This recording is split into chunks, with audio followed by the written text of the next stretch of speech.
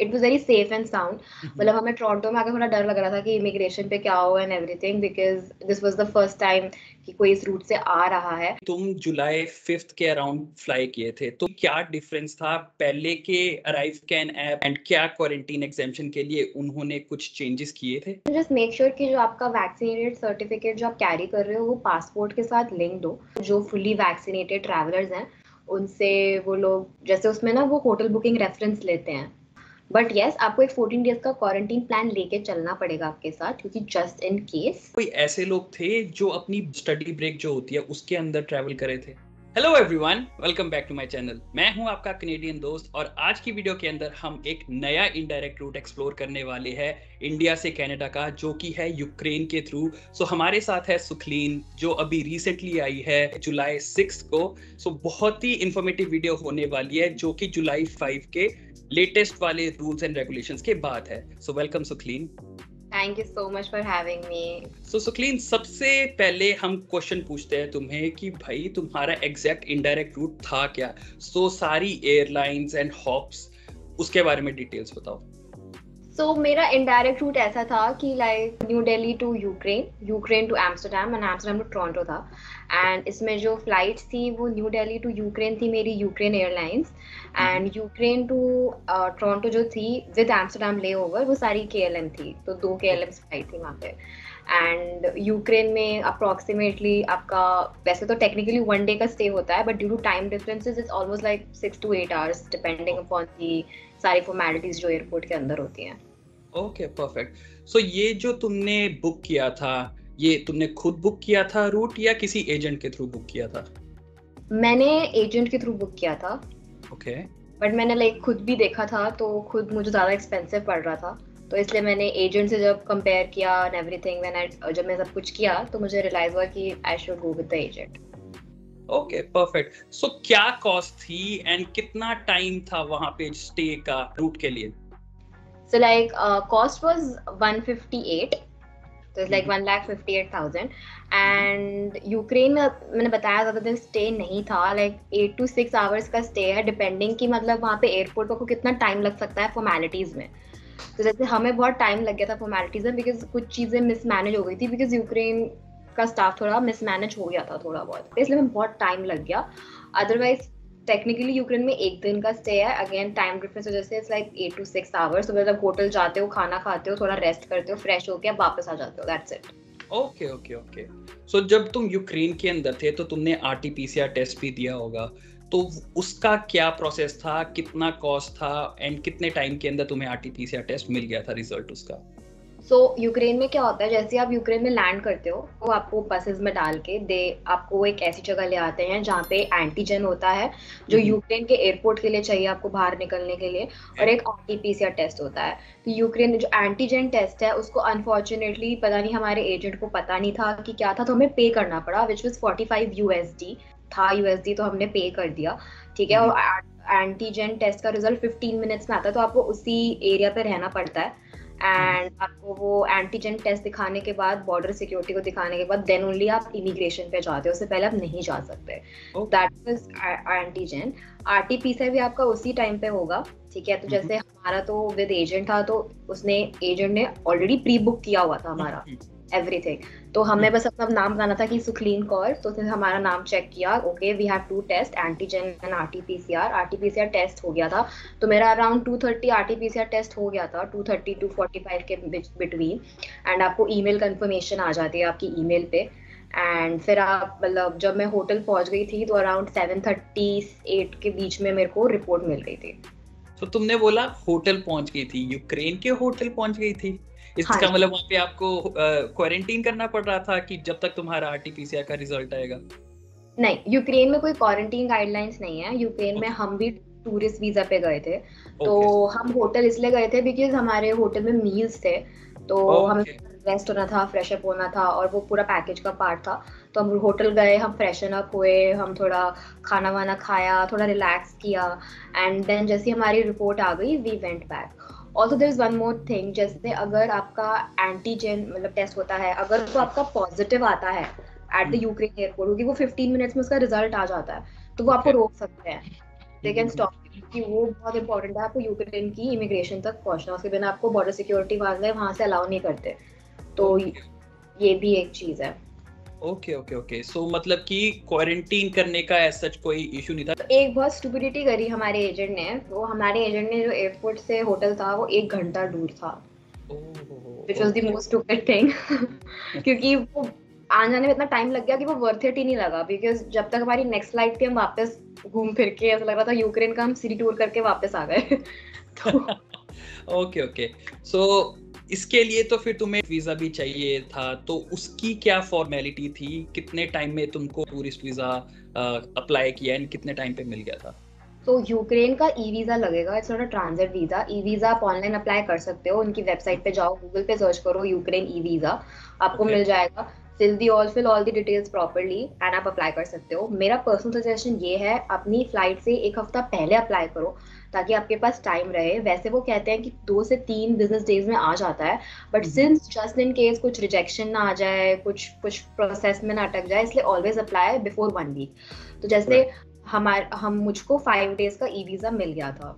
तो हम्म, हम्म। मतलब पर्पस की ट्रैवल कर सकते हो। कुछ बच्चों को थर्टी डेज़ का भी मिला था तो वो टोटली डिपेंड करता है कि आप कौन सी इन्फॉर्मेशन वहाँ भरते हो। Okay okay okay. सही है फिर तो बहुत सही है। ये वाले रूट के थ्रू जो भी लोग आ रहे थे तुम्हें ऐसा कोई पर्सन पता है जिसको अलाउ नहीं करने दिया गया बोट करने के लिए? ऐसा कोई सिनेरियो था? नहीं ऐसा कुछ नहीं था। काफ़ी लोग आ रहे थे हमारे साथ I guess we were a group of 50 to 60 people तो सब हम्म। हमारे साथ आ रहे थे एंड किसी को ऐसा रोका नहीं गया। बट यूक्रेन एयरपोर्ट पे एक प्रॉब्लम आई थी कि लोगों को पता नहीं था कि उनको नेक्स्ट कैनेडा की फ़्लाइट बोर्ड करने के लिए उनको आर टी टेस्ट भी चाहिए तो वो सिर्फ़ एंटीजन करा के वहाँ से आ गए। And they were out of the airport तो बिकॉज़ हम्म। वो अवेयर नहीं थे उस चीज़ के इसलिए वो ये चीज़ वो करना भूल गए बट वो उन्होंने फिर बाहर से आर्टिफिशियल करा लिया था कहीं से एंड okay. मुझे ये नहीं पता उन्होंने कहाँ से कराया I just got to know कि उन्होंने करा लिया कहीं से जुगाड़ करके एंड हम्म। उनको वो आ गया रिपोर्ट आ गई थी टाइम पर बट दैट इज़ समथिंग आप वो मत करना जब आपका एयरपोर्ट पे चीज़ें हो रही हैं गेट इट डन ताकि एक फॉर्मल स्मूथ रहे और आपके दिमाग पर टेंशन ना रहे constantly right right because R T P C R test he allowed है कैनेडा uh, इमिग्रेशन के लिए. They don't allow antigen test so तुमने ये वाला रूट ही क्यों चूज़ किया? क्योंकि बहुत सारे अलग रूट्स भी थे. तो यही वाला रूट क्यों चूज़ किया? सो so, uh, पहले मैं मस्कट के थ्रू जाने वाली थी बट मस्कट वाला रूट बंद हो गया था. ठीक है? तो उसके बाद फिर हमारी फ़्लाइट रीस्केड्यूल हुई एंड एवरीथिंग सब कुछ चेंजेस होने लग गए. मेक्सिको वाले में भी मेरे मेक्सिको वाला ज़्यादा फेवर नहीं कर रहे थे मेरे पेरेंट्स बिकॉज़ दे सेड कि Mexico is not very safe and everything and वहाँ पे at plus it was expensive वो महँगा भी था। एंड सर्बिया में भी दो दिन का स्टे था तो फिर वो भी इसलिए हमने प्रेफर नहीं किया। तो इसलिए आई थॉट कि यूक्रेन है and Ukraine country is a very nice तो इसलिए प्लस वहाँ पे इतना ज़्यादा कॉस्ट वाला भी नहीं पड़ रहा था और स्टे भी इतना ज़्यादा नहीं था कि हमें बहुत ज़्यादा टाइम लग जाए ट्रैवलिंग में। So I thought that is why it's a wise option okay okay okay right so so, तुमने बताया कि तुम जुलाई फिफ्थ के अराउंड फ्लाई किए थे। तो पूरा एक्सपीरियंस बताओ कि क्या डिफरेंस था पहले के अराइव कैन ऐप एंड क्या क्वारंटीन एग्जामेशन के लिए उन्होंने कुछ चेंजेस किए थे?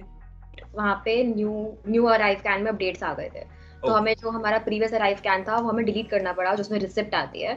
तो हमने हम्म। वापस उसको पूरा भरा तो उसमें अब नया ऑप्शन आ गया था रिगार्डिंग दी वैक्सीनेटेड ट्रैवलर्स तो जो वैक्सीनेटेड ट्रैवलर्स थे वो आपसे पूछते हैं कि आप पार्शली हो कि आप फुल्ली हो? तो दैट आपको वो डिटेल भरनी होती है अगर और कौन कौन सी डेट्स पे आपको वैक्सीन लगी है। तो अगर आपको सेकेंड डोज भी लग चुका है और सेकेंड डोज मतलब अगर आपका सेकेंड डोज के बाद सपोज़ अगर सिर्फ़ सेवन डेज़ हुए हैं इन योर होम कंट्री और आप ट्रैवल कर रहे हो तो आप एग्जेप्टेड नहीं हो गए तो हम्म। उसमें वो स्टेट्स भी पूछता है तो you have to complete 14 days in your home country तो मतलब तो वो भी माइंड में लेके चलना पड़ता है। जो फुली वैक्सीनेटेड ट्रैवलर्स हैं उनसे वो लोग जैसे उसमें ना वो होटल बुकिंग रेफरेंस लेते हैं अराइव कैन में। तो वो उन, उनसे मांगा नहीं गया। अगर मांगा भी गया तो वो ब्लैंक छोड़ के वो आगे बढ़ सकते हैं। उसमें रेड आ जाता है तो आप बाद में उनको दिखा के अपना वैक्सीनेटेड सर्टिफिकेट दिखा सकते हो। ओके सो उनको होटल क्वारंटीन करने की ज़रूरत नहीं है क्योंकि ये वाला ग्रे एरिया बहुत सारा था। लोग पूछ रहे थे कि हमको होटल क्वारंटीन करानी पड़ेगी बुक या नहीं क्योंकि काफ़ी होटल्स जो है वो रिफंड नहीं करते राइट जो पार्शली वैक्सीनेटेड है उनको तो करवानी पड़ेगी बट जो फुली वैक्सीनेटेड है जिनको पता है कि उनके फोर्टीन डेज़ भी पास हो चुके हुए हैं एंड उन्होंने अप्रूव्ड वैक्सीन लगवाई हुई है for example Covishield so they would be exempted but उनको ये कंफ्यूजन थी कि उनको होटल क्वारंटीन बुक करवाना पड़ेगा या नहीं। सो so, तुमने ये क्लैरिफाई कर दिया है कि उसके लिए you can skip it you don't have to fill that information right you don't you don't have to fill the information just make sure कि जो आपका वैक्सीनेटेड सर्टिफिकेट जो आप कैरी कर रहे हो वो पासपोर्ट के साथ लिंक दो। ठीक right. है आई एम इन इंडिया तो मुझे पता है कि आरोग्य सेतु में एक ऐसा ऑप्शन आ गया जिससे आप उसको लिंक कर सकते हो। तो आप वो करके आओ और आप दोनों सर्टिफिकेट कैरी करो और ये ताकि उसमें प्रूफ रहे कि आप फोर्टीन डेज़ आपने कंप्लीट कर लिया दोनों डोज आपकी कंप्लीट हो चुकी हैं। एंड नेक्स्ट थिंग ये कि मेरा एक मतलब मेरा एक फ्रेंड ही था जो मेरे साथ फुली वैक्सीनेटेड था एंड वो ट्रैवल कर रहा था। And mm-hmm. उसको एक्सेप्शन मिल गया तो he is living his life in Canada and I am in quarantine तो ऐसा नहीं है आपको कुछ भी बुक नहीं कराना। बट येस आपको एक फोर्टीन डेज़ का क्वारंटीन प्लान लेके चलना पड़ेगा आपके साथ क्योंकि जस्ट इन केस अगर. पॉजिटिव आरटीपीसीआर आता है तो उसके लिए ओके सो अराइव कैन के अंदर क्वारंटीन प्लान जैसे वो बोलते हैं कि डालना पड़ेगा सो so, उसके अंदर तुम एक रेगुलर अपना घर का एड्रेस डाल सकते हो right okay not living thing कि मैं जस्ट इन केस अगर कुछ होता है तो मैं यहाँ जाके रहूँगा रहूँगी and everything okay perfect so so, इसके अलावा जब तुम कनाडा लैंड किए तो कनाडा का इमिग्रेशन एक्सपीरियंस कैसा था? कनाडा uh, जब हम लैंड करते हैं तो पहले बॉर्डर सिक्योरिटी चेक होता है उसके बाद इमिग्रेशन आता है एंड देन लगेज कलेक्शन होता है। तो बॉर्डर सिक्योरिटी में वो आपका अराइव स्कैन आपकी R T P C R आपकी एग्जामेशन होटल बुकिंग्स ये सब चेक करते हैं। तो वहाँ से पता चल जाता है कि आप एग्जामेटेड हो कि नहीं हो। तो मैं एग्जामेटेड नहीं थी तो उन्होंने मुझे बोल दिया कि आप अपना होटल बुकिंग दिखाओ इलेवन डेज़ कहाँ रह रहे हो वो दिखाओ। सो आप वो सब दिखा के you can clear it then आता है इमिग्रेशन इमिग्रेशन पे उन्होंने मुझसे कुछ नहीं पूछा, उन्होंने मुझसे डॉक्यूमेंट्स मांगे। क्योंकि मेरा जनवरी इनटेक था तो I have all my documentation done for twenty twenty तो okay. उसने मुझसे उन्होंने मुझसे पूछा कि कुछ ऐसा प्रूफ दिखाओ क्योंकि 2021 चल रहा है तो कुछ ऐसा प्रूफ दिखाओ विच शोज़ कि आप अभी भी एनरोल्ड हो। तो मैंने enrolment letter and time table दिखाया which was satisfactory for them तो उन्होंने बोला कि ये ठीक है आप जा सकते हो। एंड उन्होंने negative R T P C R भी देखा अगेन वहाँ पे इमिग्रेशन पर। एंड उसके बाद उन्होंने मेरा स्टडी परमिट एंड जो मेरा कोप परमिट था वो भी दे दिया। सो so, तुमने बोला तुम्हारे साथ 50 टू 60 लोग आए थे राइट सो so, उनके अंदर कोई ऐसे लोग थे जो अपनी स्टडी ब्रेक जो होती है उसके अंदर ट्रैवल करे थे? और उसमें जो 50 से 60 पीपल थे उसमें काफ़ी लोग मतलब मैनी कोई वर्क परमिट पीआर बहुत तरह के तरह के थे। जो स्टूडेंट परमिट पे थे जितना मेरी अवेयरनेस है नहीं ऐसे लोग नहीं थे जिनका स्टडी ब्रेक चल रहा है।